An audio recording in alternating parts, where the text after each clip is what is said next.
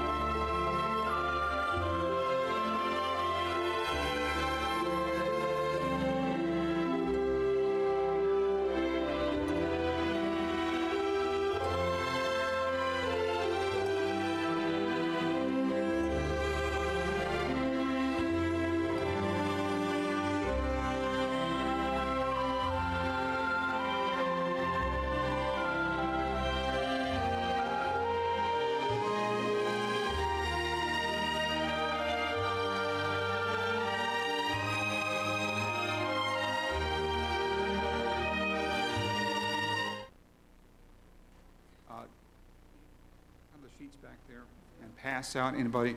It's uh, part four, love, spirit, and Christ filling. And we're going to be in Ephesians, book of Ephesians, chapter 1, in just about one minute.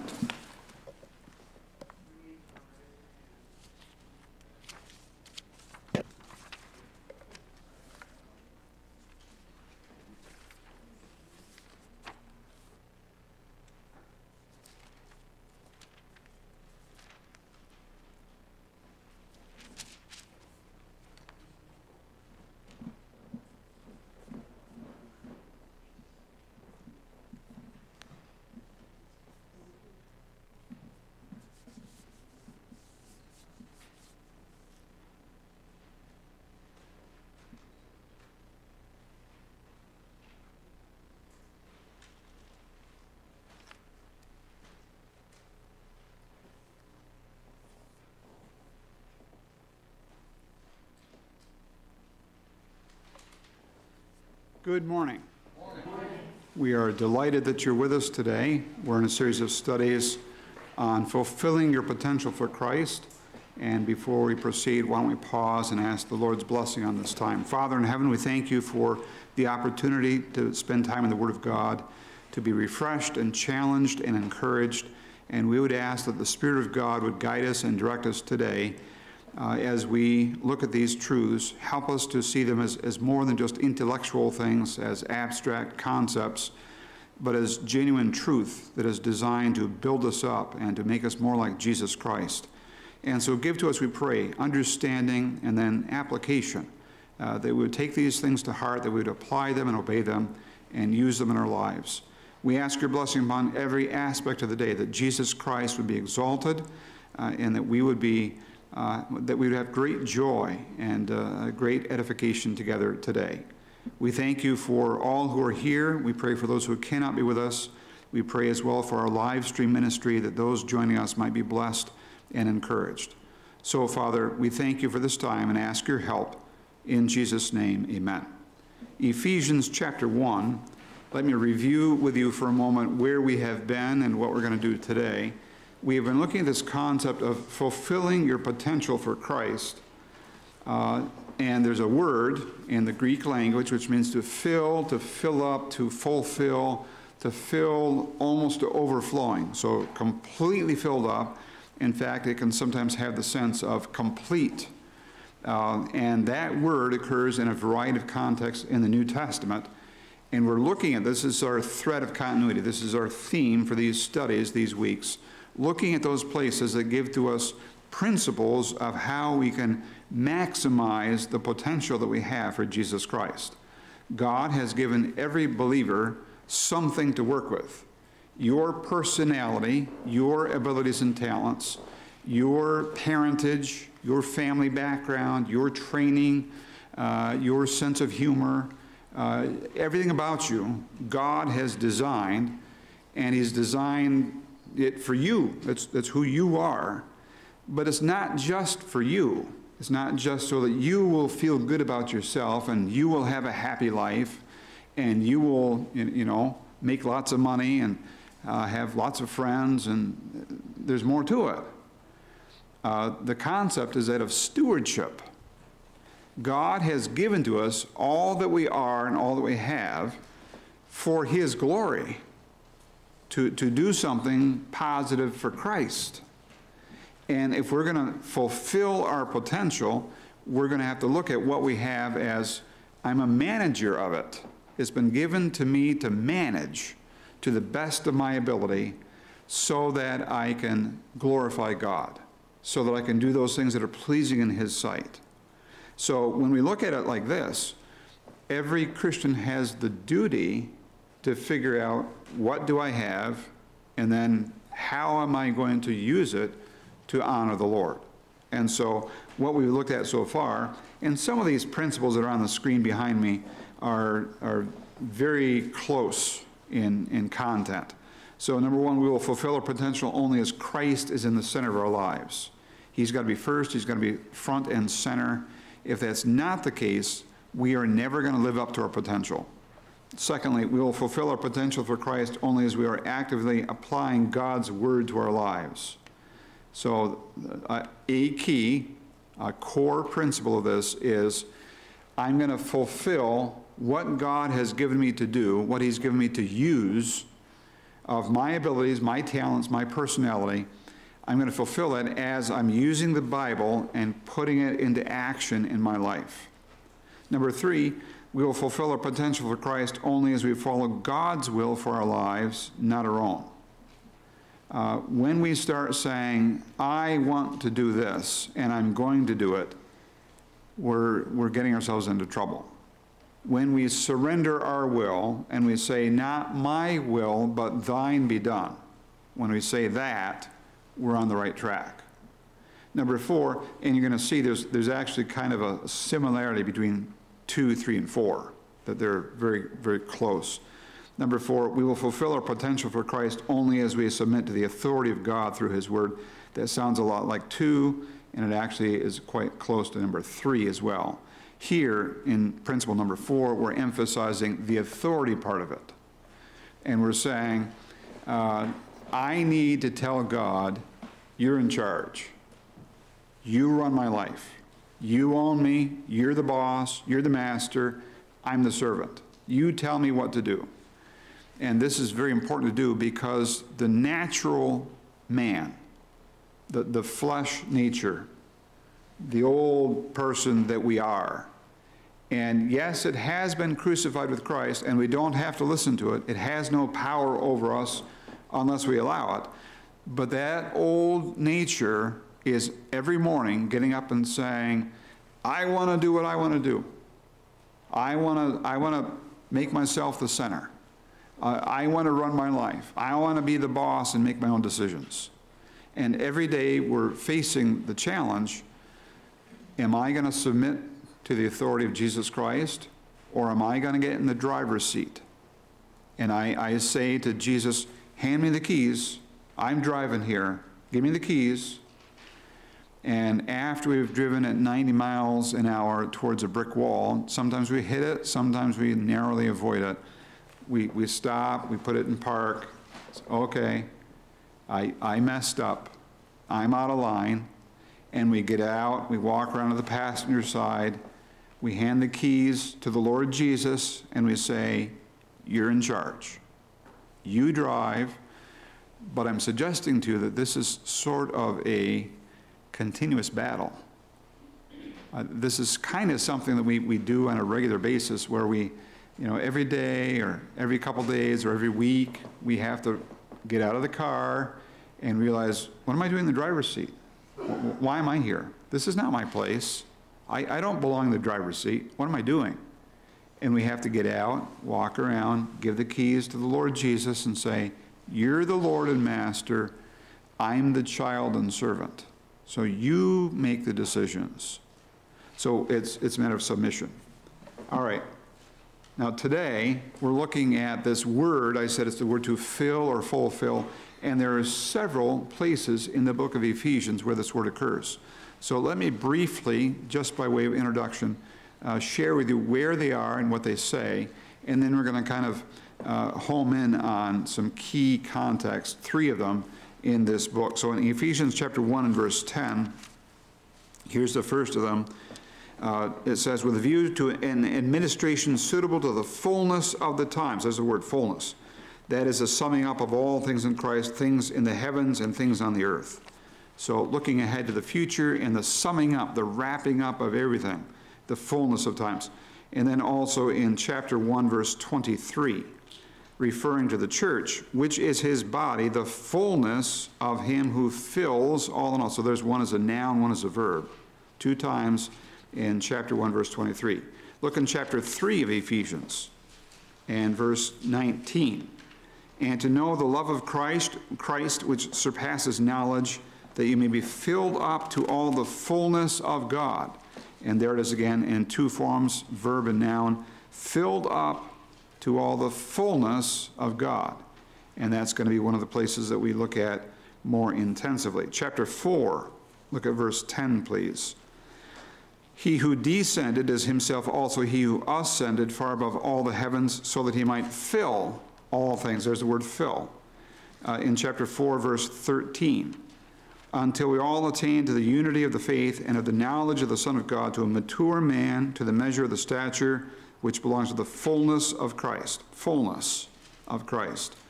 Chapter 5 and verse 18 is the last one. And here's what it says And do not get drunk with wine, for that is dissipation, but be filled with the Spirit. Uh, that word filled. So that forms the, the, the content of what we're looking at here. And the first thing that we want to see, and this is point one on your outline, the fullness of God through knowing his love, chapter 3 of Ephesians, and looking there at verse 19. There's a kind of a uh, chain reaction or a linked effect passage here, a paragraph, starting in verse 14. It's a prayer, and Paul is praying to the Father and he, he says uh, it is the concept of the Father from which every and any family on earth, any legitimate family, derives its concepts from the Father. Verse 16, and here's what he's praying that he would grant you, according to the riches of his glory, to be strengthened with power through his Spirit in the inner man. Christ may dwell in your hearts through faith. Verse 17, rooted and grounded in love. Verse 18, be able to comprehend with all the saints what is the breadth and length and height and depth verse 19, and to know the love of Christ, which surpasses knowledge, that you may be filled up to all the fullness of God. So there's a, a long passage here, a long set of connections. And Paul is praying that it would start here and proceed on in kind of a chain reaction. And the end of the chain is at verse 19 to know the love of Christ. Now, it seems self contradictory here uh, because it says, and to know the love of Christ which surpasses knowledge. How do you know something that surpasses knowledge? That, that seems self contradictory. Part of it is in understanding the nature of the word for, uh, for know. And this word has the idea of, of contact with. It, it, it's uh, an intimate knowledge it's sometimes used in places of a husband knowing his wife. And it has to do with a very intimate, very close contact to know uh, the love of Christ. So there's two things that we can say about this. One is we can say that we know the fact of it. We know the fact of God's love. It is an historical truth. It is an historical reality that God loves us. And I'm saying that is factual. You, you can't deny it, you can't debate it. Why? Why would I say that the love of God is a factual reality? He says so. The Bible says so. And did he just say so or did he prove it? He proved it. How did he prove it? Romans 5 8. In that while we were still sinners, Christ died for us. God demonstrated his love for us in that while we were still sinners, Christ died for us. So we know the fact of it, but we also know the experience of it. Uh, have you, and, and, and we're careful because we don't want to live our lives based solely on our experience. We, we don't live our lives based on feelings and emotions. But we do live in, in, in the world. We do have emotions. We do go through experiences in our daily life.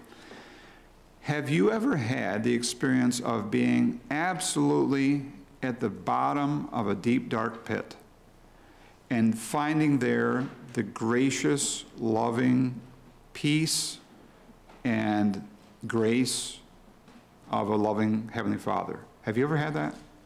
Where you were just absolutely at the end of your rope. And God reached down and gave you peace, tranquility, joy, and He actually kind of helped you stand on your feet again. Well, there is such a thing as the peace of God. There is such a thing as the joy of God in dark circumstances. There is such a thing as uh, the love of God that reaches down when we are just absolutely wiped out. And so we know the experience of it, not only the fact of it, but the experience of it. So now notice in uh, still talking about this, this love, that this love had an effect. Uh, this love did something for us. Uh, we are the recipients of that love. What was the effect on us, the object of love? We're the object of God's love, the object of Christ's love. What was the effect that this love had on us?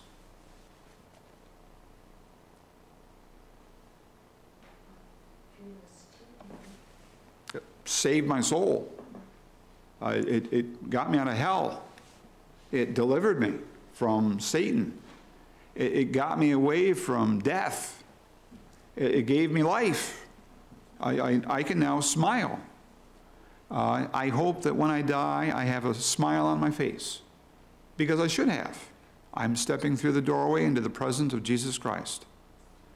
Uh, and it had a profound, life changing, eternity changing impact on my soul. It had a, Uh, an incredible impact on the object of love. You can't think of a more stark contrast between death and life, between slavery and freedom, between hell and heaven. That's the impact. Did it have an impact on the origin of love? Did it have an, did this love have any sort of an effect on the one who gave the love? Carolyn says yes. So Jesus Christ became flesh. Huh.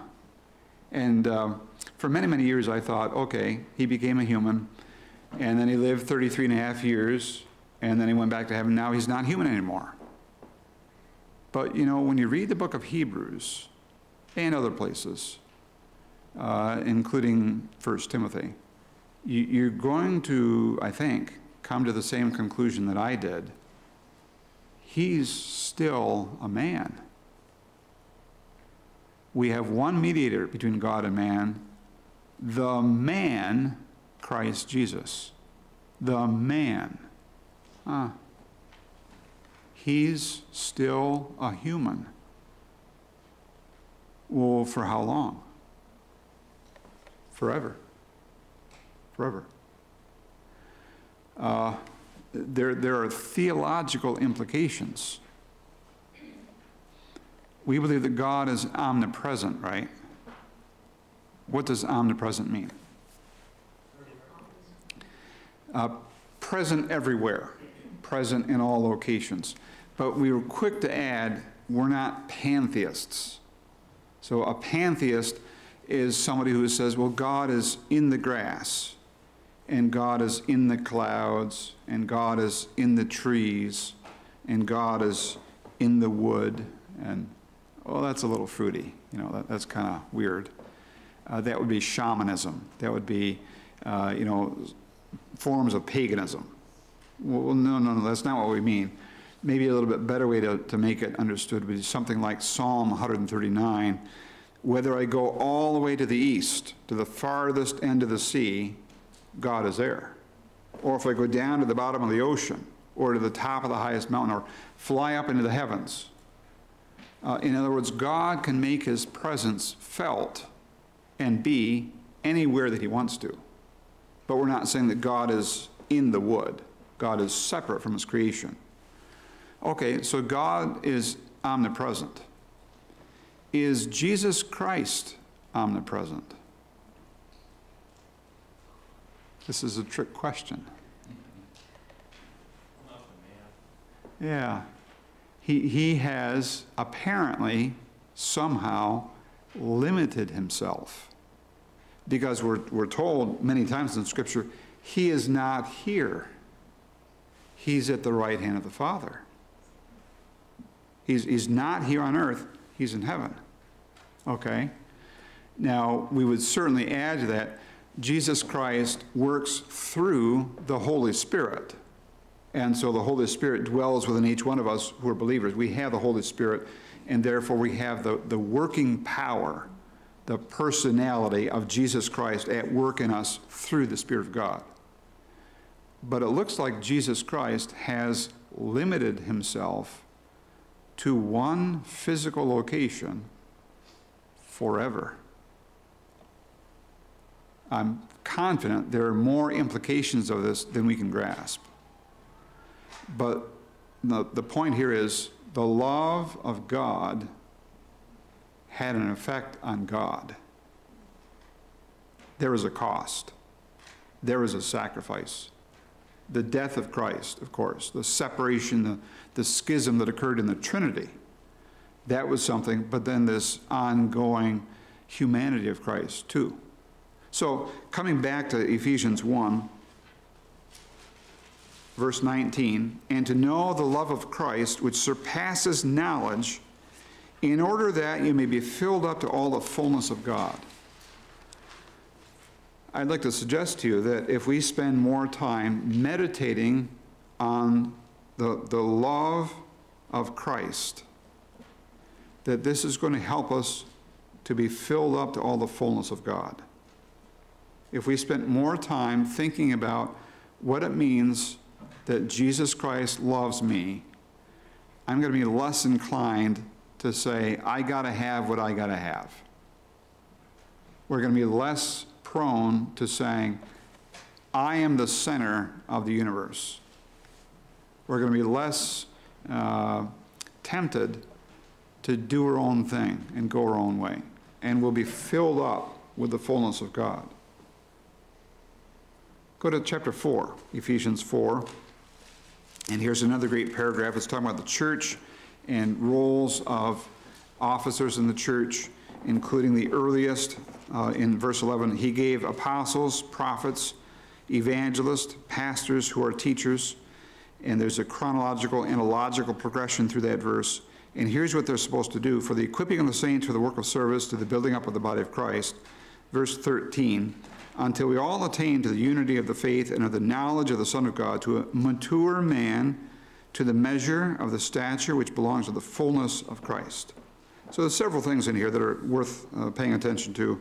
Verse 13, the unity of the faith. And the word faith here has the definite article, the faith. It's calling attention to the body of truth that we believe in. When you see that uh, in the original language, the faith, it's not just believe in a kind of generic sense. It's saying this is the doctrine that we believe. This is what we hold on to. We put our confidence in the faith. And so this is the, the, the, the trust we have, the confidence we have in this doctrine. And there is a unity there. It is to be guarded. Uh, it's also a location. It's where this is. So until we all attain to that, we're moving ahead in that category. Uh, secondly, to a mature man. So there's a couple words here. The word man means an adult, has the idea of adult as opposed to childhood, mature or complete. So I've given you a couple of cross references on the screen. They're not on your sheet, but on the screen. Matthew 5 48. Therefore, you're to be perfect, same word. Doesn't mean sinless, it means complete or grown up. As your heavenly Father is perfect. Romans 12, 2, the will of God, that which is good and acceptable and perfect, same word. 1 Corinthians 14, 20, brethren, do not be children in your thinking, yet in evil be infants. What do you think that means? Yet in evil be infants. You're not very good at it. You don't know much about it. So, you know, there are, there are kinds of sin out there that we don't need to know anything about. There, there's garbage that happens in the world, and if somebody said, well, it's kind of like, uh, you know, as, as, a teenager coming out of a Christian home, you say something, you use some phrase, and somebody giggles. And they say, Do you know what that means? Well, no, you know. And they say, Well, uh, if you claim to be a Christian, you might not want to use that phrase because they know what it means and I don't. Well, that, that's what we're getting at here. So in evil, you don't know what, what that is. In fact, right here in Ephesians, it says there's stuff that goes on out there that we should be ignorant of. We don't need to know that stuff. And, and evil, be infants, but in your thinking, be mature. Know how to think. Know how to think godly. Know how to evaluate. Know how to think critically from the right standpoint. Uh, and then in Colossians 1.28, we proclaim him, admonishing every man and teaching every man with all wisdom, so that we may present every man complete. I didn't underline it, but it's complete, there's the word, in Christ. So mature, fully developed, missing no parts, all the way grown up. That's what this word means. And then the word adulthood or stature here in Ephesians 4.13 uh, is found in these locations. Luke 2.52, great in wisdom and stature. Luke 19, Zacchaeus, he was of little stature or size. John 9, 21 and 23, the, the man who was born blind, he is of age. He's, he's fully grown. Hebrews 11, 11, she was past age, Sarah. So fully developed stature, maturity. What does it mean here when it says in Ephesians 4:13 that our goal, where we're going, is this mature man, the measure of the stature which belongs to the fullness of Christ? What does the fullness of Christ mean? Well, it's going to mean the imprint of his character.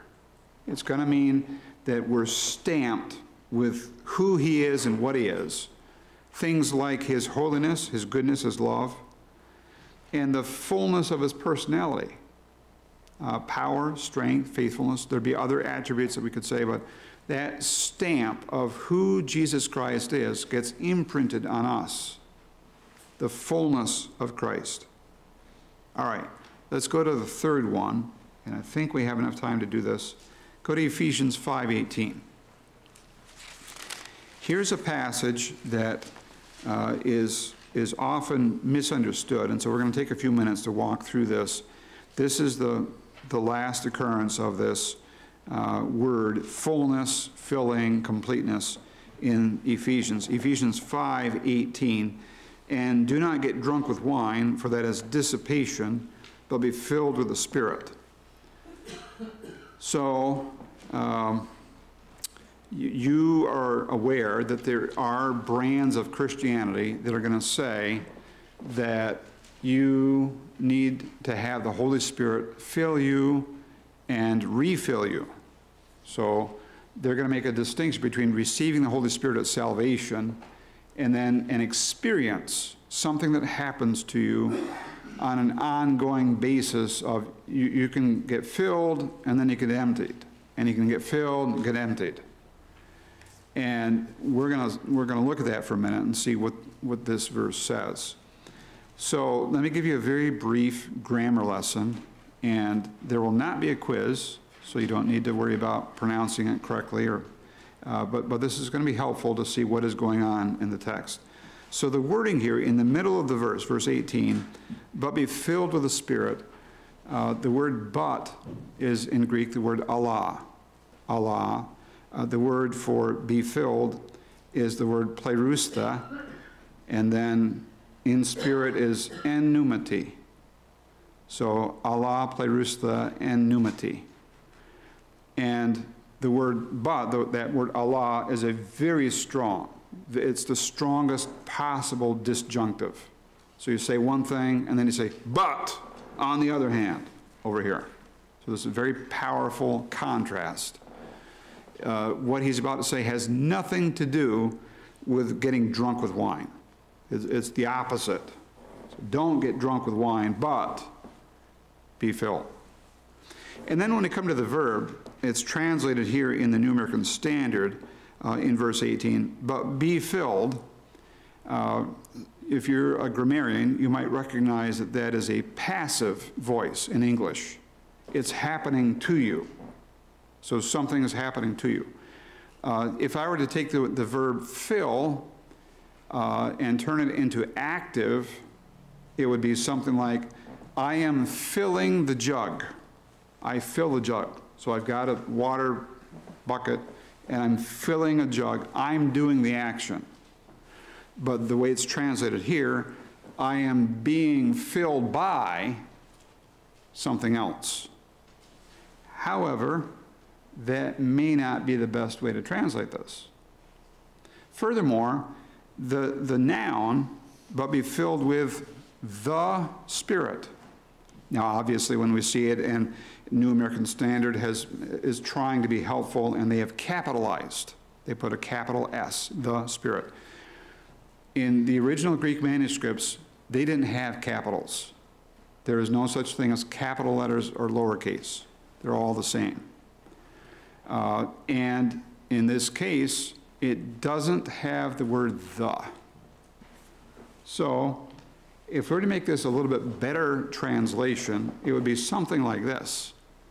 And do not be drunk by means of wine, in which is dissipation, but rather fill yourselves in spirit. Probably a better reading of the verb is what we call middle voice. It's an action that you do to yourself. Huh? Well, did I help or did I make it more complicated? What does this even mean? Well, if we put it like this, this is not, I get more of the Holy Spirit. This, this is not, in fact, we would say, based on our studies in the book of Acts and in the epistles, when you trusted Jesus Christ, you received the Holy Spirit and you got all of Him that you're ever going to get. You don't ever lose part of Him and you don't ever get more of Him. So you have the Holy Spirit, period, full stop. But there is such a thing as walking with the Spirit or living in the Spirit. So, what are some things that we could say about this? Well, I'm not going to spend much time on this, but there is a parallel passage to this whole paragraph in Ephesians 5 and it's Colossians 3. And I'll just call your attention to 316. Let the word of Christ richly dwell within you. There's a connection. And, and the connection is the word of Christ, the truths of the Bible, the word of God is going to have an impact in this area. But I really want to turn to Galatians 5:16. Go to Galatians 5:16.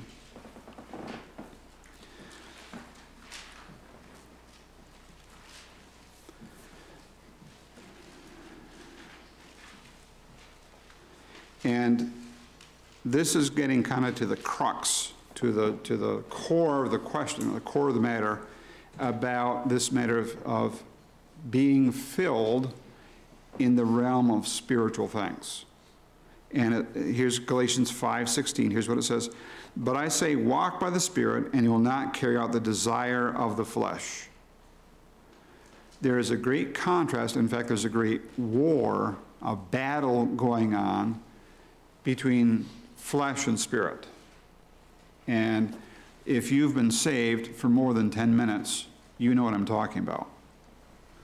The old nature would like to do what it would like to do. It is all about itself. It is all about gratification. It's all about, I want what I want. The new nature, the, the, the, the, nature that is supposed to be being controlled by the Spirit of God, wants to glorify Jesus Christ, wants to honor Him, wants to be holy, uh, wants to be fruitful. But there is this conflict, there is this issue that's going on.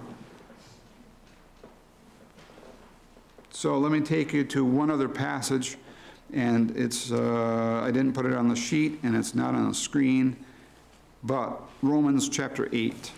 Romans chapter 8. And here you're going to see some things uh, in a dynamic that is very, very helpful because it can kind of cut through the confusion and the chaos. Romans, the eighth chapter, and I'm looking uh, at verse 3. 8 3 of Romans for what the law could not do, weak as it was through the flesh, God did, sending his own Son in the likeness of sinful flesh, and as an, as an offering for sin, he condemned sin in the flesh, so that the requirement of the law might be fulfilled in us who do not walk according to the flesh, but according to the Spirit. So there you see, we're not walking according to the flesh, but according to the Spirit. And uh, interestingly, in that verse, the word the does not occur in the original between, before flesh or spirit. Fleshly, spiritual. Verse 5 For those who are according to the flesh set their minds on the things of the flesh but those who are according to the Spirit, the things of the Spirit.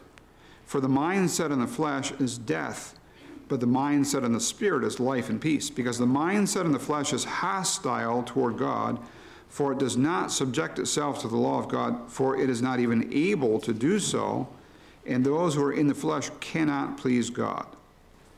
Verse 6 is enormously helpful. Here's what it says For the mind set on the flesh is death, but the mind set on the spirit is life and peace.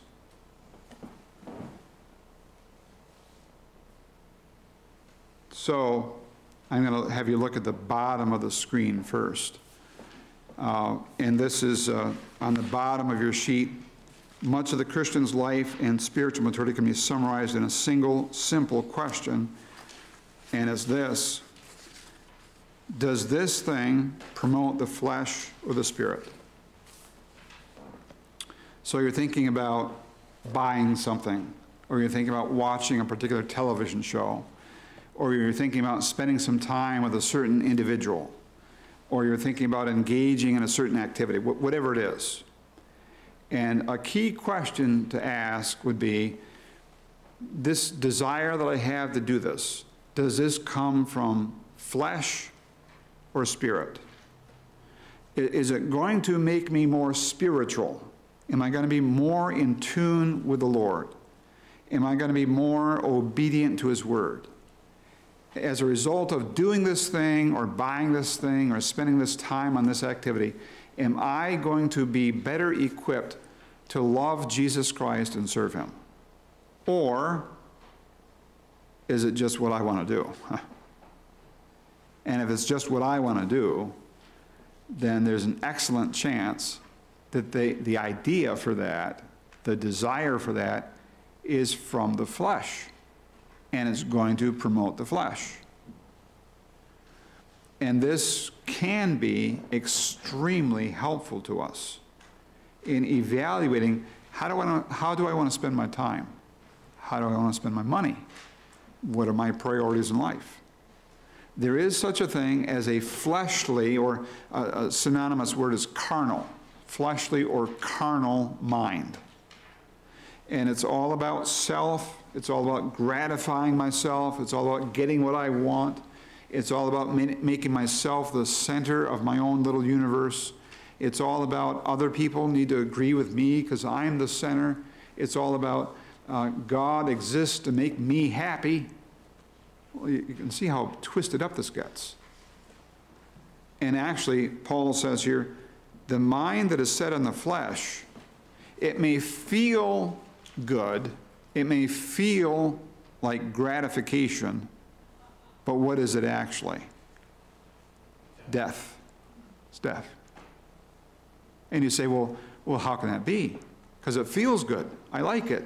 I, I like uh, you know, whatever this is that I'm, I'm doing or I'm eating or I'm spending money on or spending time with this person, if it feels so good, how can it be death? And the answer is it may not be immediate, immediately apparent. But the book of James tells us this there is an anatomy or there's an epidemiology of sin. And it starts with a desire. And then you agree to go along with the desire and when that lust has conceived, it brings forth sin.